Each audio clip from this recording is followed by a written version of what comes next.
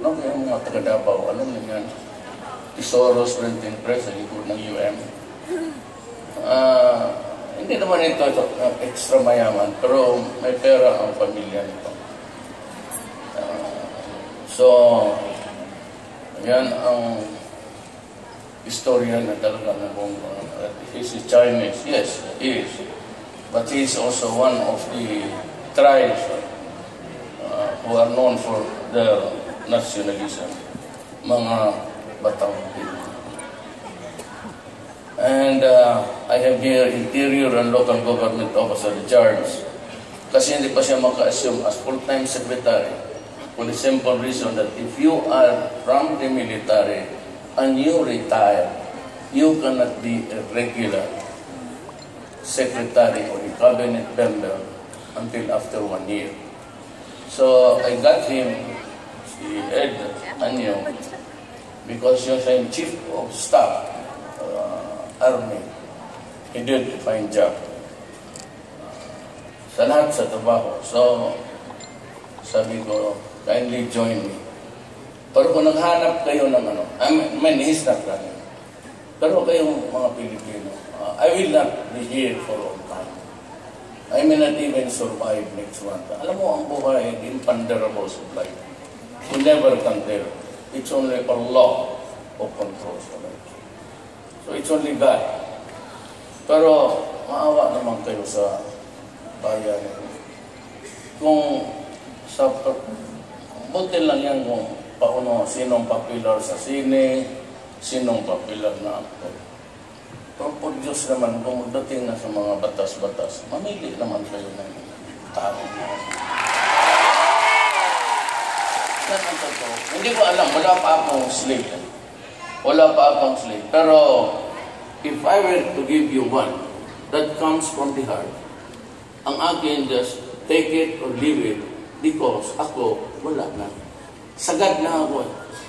After six years, bye-bye, no more. At hindi na ako. Ah, Yan ang sabi ng batas natin, eh, hindi na talaga pwede. So, kaya yung mga dapat kong gawin, gawin ko. May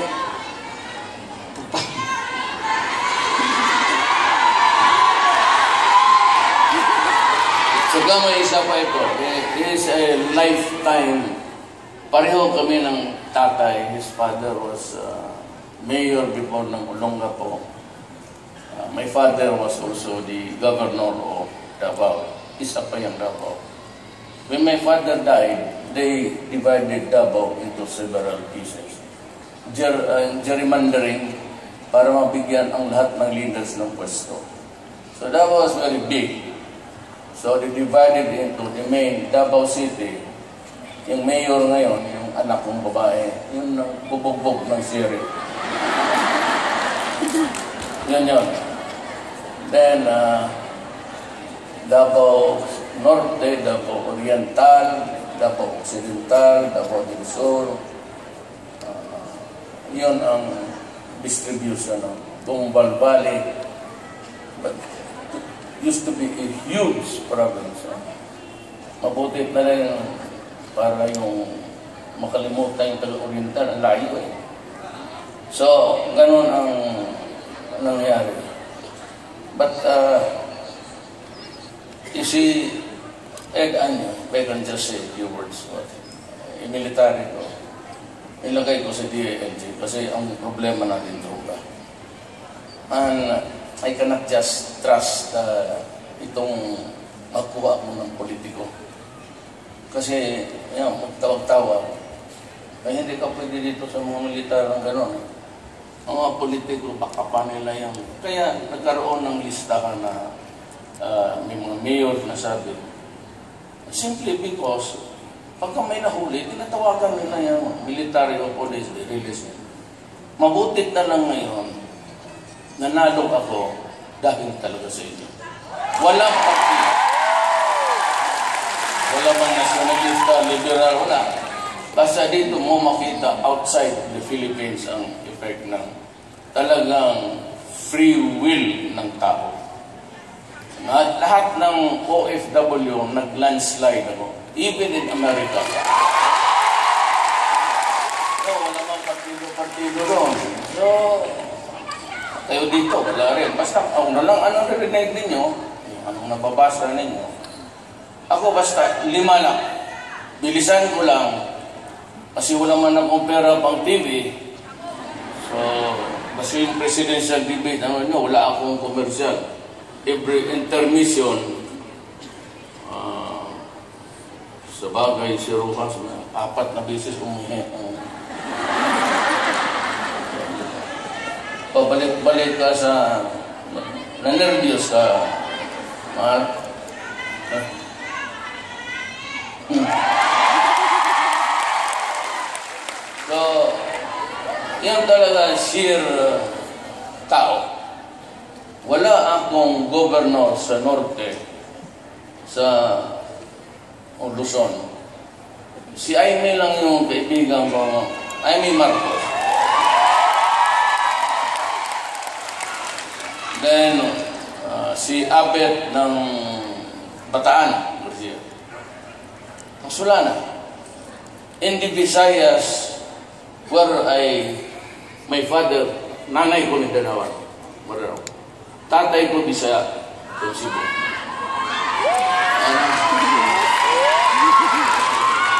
Bro, chutang taga-panday.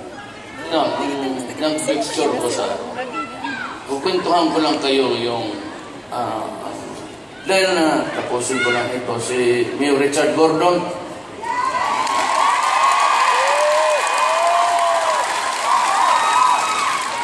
To, ah, pareho kami nito. Yung tatay niya, politiko hanggang kamatayan. Tatay ko, politiko hanggang kamatayan. Ako, patayin talaga ako ninyo. Wala na rin dito. 40 years ako sa pagka-public prosecutor, tapos mayor for 23 years ng Davao, congressman, vice mayor ni Inday, yun yung panahon na nagbubugbog ng tao si Inday. Alam mo, sino ang taga Davao dito?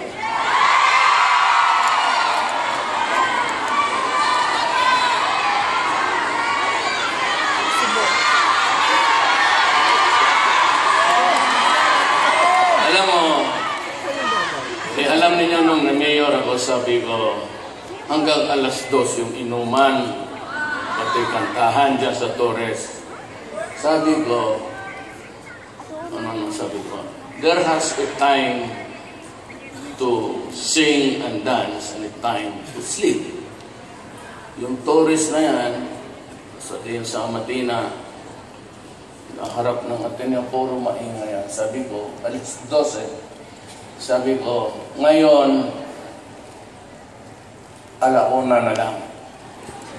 Wala nang inom, walang sigarilyo, wala, hindi ka nang makabili ng alak, halos wala nang paputok sa New Year, ibang putok na lang ang gamitin.